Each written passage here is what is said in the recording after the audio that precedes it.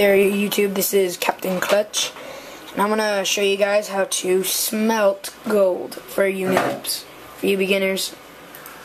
There I just put down a furnace. What you do is you take coal and what you get is when you mine you get something called gold ore. And what you do is you just put it in the furnace, put some coal down, and then you get golden ingots. And then, what, like I said before, you take the golden, and then you take your golden ingot, and then what you can do is very simple. Then you could just come over to your crafting table, put your golden ingot down, and you can make golden nuggets. And then when you get golden nuggets, you can get an apple from a tree, and you put the apple in the middle, like I explained to you guys how to do the golden apple.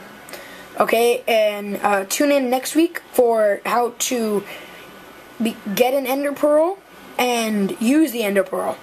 Okay, thanks. Don't forget to subscribe. Captain Klutch out.